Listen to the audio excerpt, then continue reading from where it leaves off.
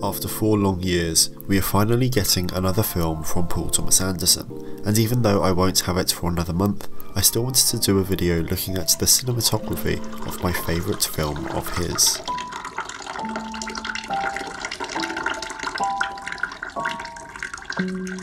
Phantom Thread is my favourite film from Paul Thomas Anderson, and whilst it could just be a coincidence, it feels more true to him as we see the film from his eye completely.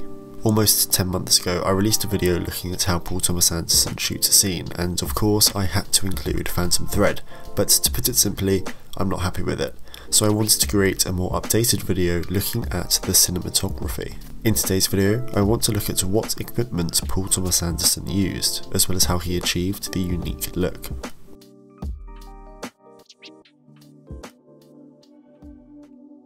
As always, let's start with the equipment first. Anderson opted to use the Panavision Panaflex Millennium XL2 paired with the Panavision Ultraspeed Z Series Mark II lenses. Paul had spent a lot of time with the lens guys to come up with a combination of lenses that had a lot of texture to them, they had imperfections to them, and then we did a lot with the LowCon filters, which lowered the contrast. Now that's generally the opposite of what most people try to do. Most people try to have a nice rich black, a very nice velvety type of feeling in the blacks, and that was no bueno for this film. So Anderson is very knowledgeable when it comes to the technical side of filmmaking. He knows a lot about glass and how he wants it to react to film. And as well as the ultra speeds, he used some of his favourite lenses, such as the 40mm that he likes to call Gordon Willis lens, as well as the 50mm antique Pathé lens which he used on There Will Be Blood but had it converted to spherical to use on Phantom Thread. As with any Paul Thomas Anderson film, it was shot on film, and they did a number of tests when choosing what film stock to use and ended up going with Kodak's Vision 3 200T and 500T. As they wanted to dirty up the image, they slightly underexposed the film and then pushed it when developing, making the stock become more sensitive, but I'll get into that a bit later.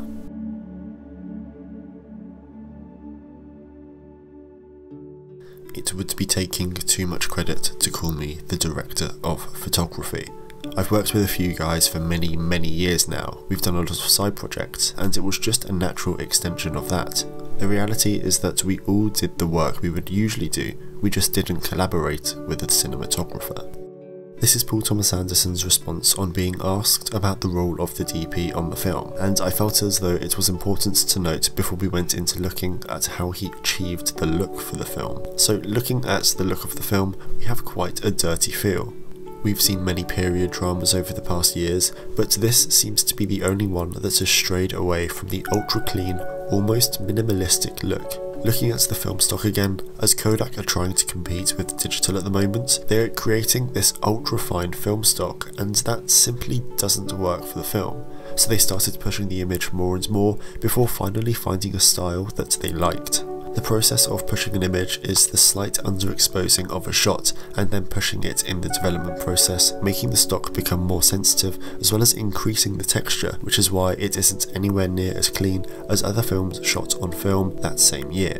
Anderson also likes to stay away from modern film technology, and he and his lighting cameraman, Michael Bauman, spent a lot of time testing different lights and how they would react to film stock. They did a number of music videos as well as numerous other tests over the 8 month periods that they were in pre-production. They also used a lot of haze in the film, which creates texture on top of the grain, as well as dirtying up the image, which is what Anderson wanted to achieve. There were some scenes where the haze was quite heavy though, for example in the fashion show.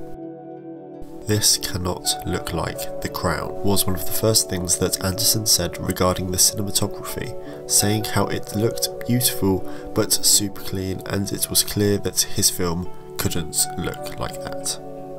Let's touch on the crew aspect though. Michael Bauman, who had previously worked with Elswit and Anderson as their gaffer, was credited as the lighting cameraman for the project. Now, this was the first time that Anderson was shooting a film without any dedicated cinematographer, and whilst studios wouldn't usually let a director photograph their own film, he isn't your usual director. And looking at the inspirations for the cinematography, it isn't a surprise that one of the major inspirations was Stanley Kubrick's Barry Lyndon, more specifically, the candlelit scenes. However, there is just so much to get into here, so if you wanted to go much more into depth looking at the lighting, then I'm going to link Lighting Phantom Thread, which hosts Michael Bauman, the lighting cameraman for the project, in the description down below.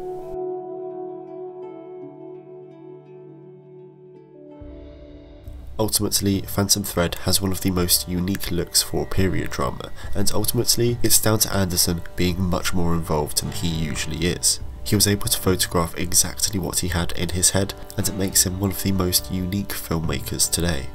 I hope you enjoyed this video looking at how Paul Thomas Anderson shot Phantom Thread.